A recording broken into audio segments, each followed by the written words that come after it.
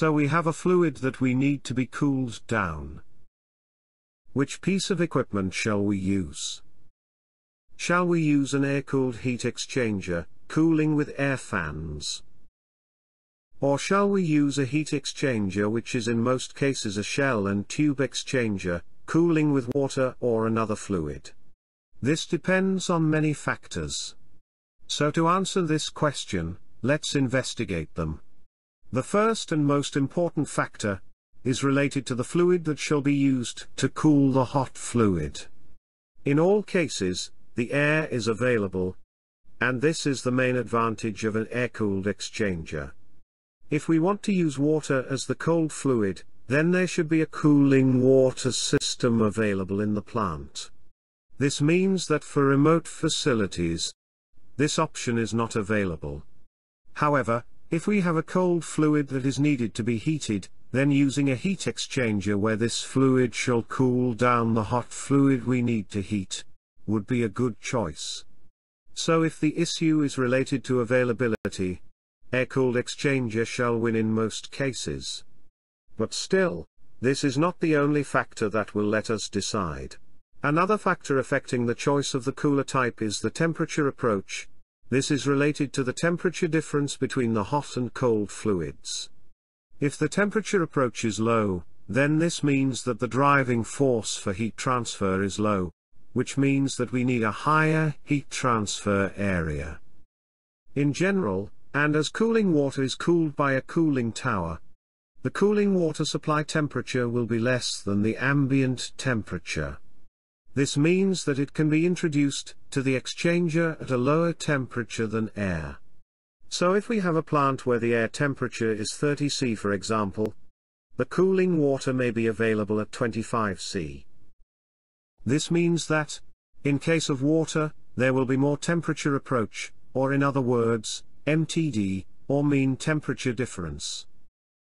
If we applied the heat transfer equation, as we see, for a specific heat duty, Q, and a heat transfer coefficient, U, which will be less in the case of air, we will need more heat transfer area, A, if we had less temperature difference, delta T mean. More heat transfer area means greater dimensions, which means more cost.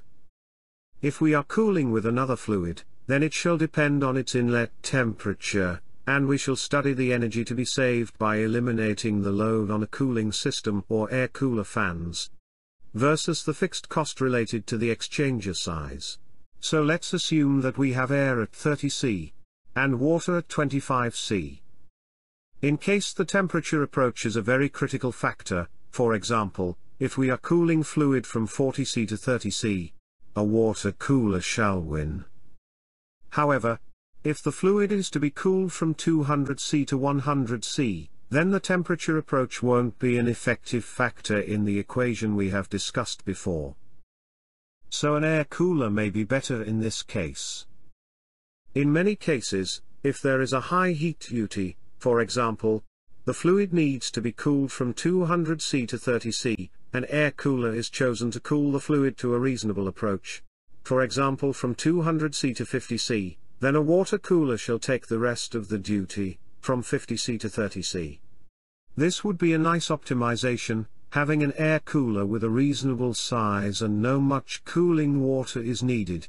Which means less load on the cooling water system. The plot area of the plant should also be considered when choosing the cooler type. As a general rule, water and liquids have a much higher heat transfer coefficient, U in the previous equation, than air. If we recall the previous equation, a higher heat transfer coefficient would mean less heat transfer area, if we are talking about a constant temperature approach.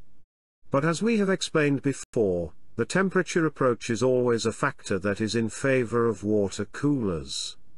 This means that an air cooler required to cool a specific fluid to a specific temperature, will always have a higher heat transfer area than a water cooler.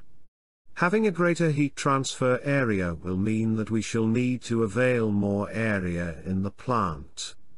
This may be a constraint in many cases. However, There is a solution which is to install the air-cooled exchanger on the pipe rack, this can save the plant plot area. Air-cooled exchangers use fans, and fans are driven by electric motors. So this means that an air-cooled exchanger will need power.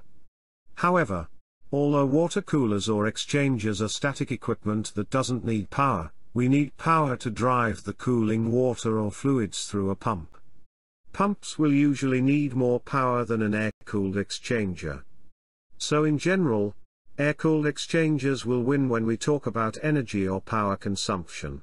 So as we have seen, there are many factors that would affect our decision to choose a shell and tube exchanger or an air-cooled exchanger. From a fixed cost point of view, an air-cooled exchanger would cost more than a shell and tube heat exchanger but it will mean more savings in the operating cost, and less energy consumption. So if both options are available, optimization should be taken into consideration, to choose the correct decision. If you liked the video, don't forget to subscribe in the channel. You can also check out the courses in the description. See you in another video.